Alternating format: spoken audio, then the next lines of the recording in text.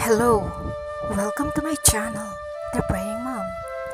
There is power in your prayer. Bago tayo magpatuloy, kaibigan, I encourage you to like, share, and subscribe to my channel. At kung ikaw ay may mga kabigatan sa buhay, may mga problema ka, at hindi mo alam kung saan ka pupunta, I encourage you, kaibigan, isulat mo lang sa baba ang iyong mga kahilingan at sasamahan kita sa pagdulog sa iyong mga panalangin. Tanong ng karamihan, may pag-asa pa ba? Siguro ito rin ang tinatanong mo sa sarili mo, kaibigan. May pag-asa pa ba ako? May bukas pa ba? May naghihintay pa bang kinabukasan para sa akin at sa aking mga anak? Sabi sa Proverbs 23:18, Tunay nga na may kinabukasan at ang iyong pag-asa ay hindi mawawala. Ano ba ang dapat mong gawin kung nakakadama ka ng depression o kawalan ng pag-asa? Unang-una, huwag kang mabalisa. Madaling sabihin, pero ito ang pinapayo sa atin ni Apostol Pablo. problema ka ba dahil sa sitwasyon mo? Wala na kayong kakainin, wala na kayong pera sabi nga ni Apostol Pablo, sabi niya sa Philippians 4, 6-7, Huwag kang mabalisa sa lahat ng bagay, kundi ikaw ay manalangin na may kalakip na pasasalamat at hayaan mong sabihin mo sa Diyos ang lahat ng iyong mga kahilingan at ang kapayapaan ng Diyos na hindi malirip, na hindi kayang maipaliwanag, ito ang ibibigay niya sa iyong puso. Naalala ko pa noong una kami pumunta dito sa Pilipinas ng aking pamilya noong year 2012. Bilang isang missionary, napakahirap mabuhay, lalong-lalo na kung umaasa ka lang sa mga support ng iyong mga kaibigan at ng iyong pamilya. Naalala ko year 2012 na nag-decide kami ng asawa ko na muling bumalik ng Pilipinas para maging misyonero at ibanghilista. Nung time na yun, hirap na hirap kami ng asawa ko dahil ang support namin $200 lang. At nung time na yun, umiiyak kami ng asawa ko sa Panginoon at sinabi namin, Panginoon, tinawag mo kami dito sa Pilipinas. Sinabi mo na maglingkod kami at iwan namin ang Amerika at maglingkod kami bilang mga misyonero. Umiiyak kami ng asawa ko at tinitignan namin ang aming mga anak, payat na payat na sila dahil sa buong buwan puro noodles ang kinakain namin. Isang araw, nagkasakit kaming lahat. Meron kaming lagnat at wala kaming pagkain. Kaya kami ng asawa ko nag-force fasting kami. Nanalangin kami at sabi namin, okay lang, kaya natin, wag lang nating hayaan ang ating mga anak. Kami ng asawa ko, pumunta kami sa kwarto namin, umiyak kami at nanalangin at sabi namin, Panginoon, magpadala ka ng raven. Katulad ng ginawa mo kay Elisha, nagpadala ka ng ibon at nagpadala ka at nag at, at ang ibon na to araw-araw nagbibigay siya ng pagkain sa sa propeta mo. At sabi namin, Lord, wala na kaming pagkain ng panghapunan. Ibinibigay namin sa iyo. Nagtitiwala kami sa iyo. At pagkatapos natulog na kami. Maya-maya, alas 7 ng gabi, may kumakatok sa gate namin. At lumabas kami ng asawa ko. At pagbukas namin ng pinto, yung mga kaibigan naming pastor at ang kanyang asawa, tsaka yung mga church leader. At sabi nila sa amin na gustong gusto na naming umuwi. Pero ang sabi ng Panginoon, pumunta ka sa bahay ni Sister Menchi at dalan mo sila ng pagkain. At binigyan nila kami ng pagkain, mga prutas, manok, at hindi kami nagsalita ng asawa ko, nagtinginan lang kami. At pag alis nila, sabi namin, Lord, salamat sa raven na pinadala mo. Kaibigan, doon ko nakita, doon namin nakita ng asawa ko ang katapatan ng Diyos. Kung magtitiwala, sa, mag, kung magtitiwala ka lang sa Kanya at hindi ka mawawala ng pag-asa, kung mananatili kang tapat sa Kanya, ang Panginoon hindi Kanya pababayaan.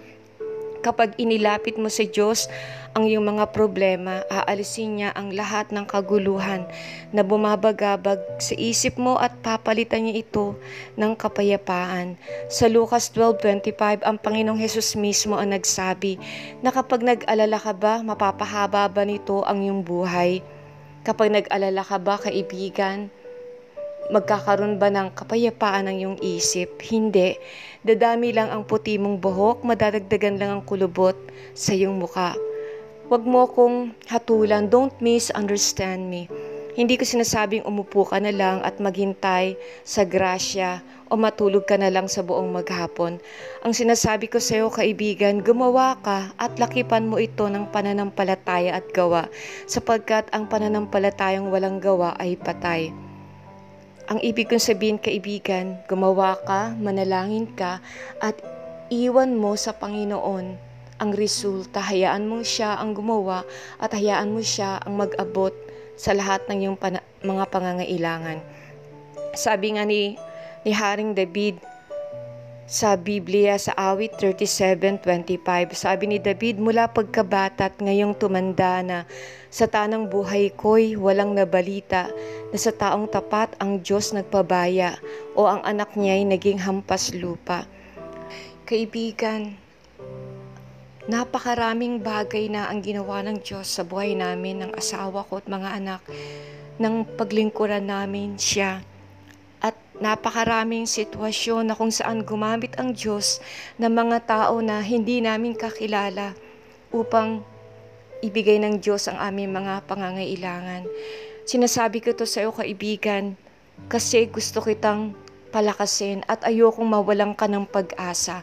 Kung titignan mo ang sitwasyon natin sa ating panahon sa coronavirus, maraming taong nasasaktan, namamatay, natatakot, nawawalan ng pag-asa, nawawalan ng pag-asang mabuhay. Kaibigan, doon ka lang sa piling ng Diyos mo lang mahanap ang pag-asa na kailangan mo. Kung magtitiwala ka lang sa Kanya ng buong puso, kaibigan, I assure you, hinding hindi ka iiwanan ng Diyos, hinding hindi ka niya pababayaan sapagkat ang pangako ng Diyos, kapag inuna mo siya, kapag hinanap mo ang kanyang muka, kapag binigay mo, binigay mo sa kanya ang buhay mo at nagtiwala ka sa kanya ng 100%, kaibigan ang pangako ng Diyos, hinding hindi kanya iiwanan, hinding hindi kanya pababayaan. Hayaan mo ipanalangin kita sa mga sandaling ito. Panginoon, marami pong salamat sa iyo. Panginoon, hindi ko mabilang ang lahat ng mga kabutihan na ginawa mo sa personal kong buhay ng aking asawa at mga anak. Hindi ko mabilang, Panginoon, yung mga panahon na, na nasa kagipitan kami, andun ka. Dininig mo ang aming mga panalangin. Ama, sa pangalan ni Jesus, ang kahilingan ko sa iyo na iparanas mo rin sa mga subscribers ng The Praying Mom, yung, ng mga taong nakikinig ng panalangin ito, yung mga sinasabi ko sa kanila, yung mga patotoo ko sa kanila, para sa ganun maranasan nila ng personal na oo nga, ang Diyos na sinasabi ko ay buhay. Ang Diyos na binabalita ko sa kanila, ang Diyos na binabahagi ko sa kanila ay buhay na Diyos, hindi natutulog at ito'y nagmamahal. Father God, ipadanas mo sa kanila ang walang hanggan mong biyaya, ang pagpapala mo, ibus mo ang nag-uumapaw mong pagpapala sa kanilang mga buhay. Alam ko, Ama, na alam mo na karamihan sa kanila dumaranas ng kahirapan, wala na silang makain, wala na silang maisaing, wala na silang pera dahil sa lockdown, hindi sila maka, makapasok sa trabaho. I pray, Father, for your peace. Palitan mo, Lord, ng kapayapaan, ang kabigatan na dararanasan nila sa kanilang mga buhay. Panginoon, Dalahin ko na ikaw ang yumakap sa kanila, na ikaw nga po ang magbigay sa kanila ng solusyon. Tinataas ko, Lord, ang gobyerno, ang aming presidente, si Duterte. I pray, Lord, bigyan niyo siya ng wisdom kung paano pangungunahan ng bansang Pilipinas. And I pray, Father, for peace sa mga taong may mga kaguluhan. I pray, Father, for healing sa mga taong may karamdaman. I pray, Lord, ang mga taong may karamdaman, may mga taong may sakit dahil sa coronavirus.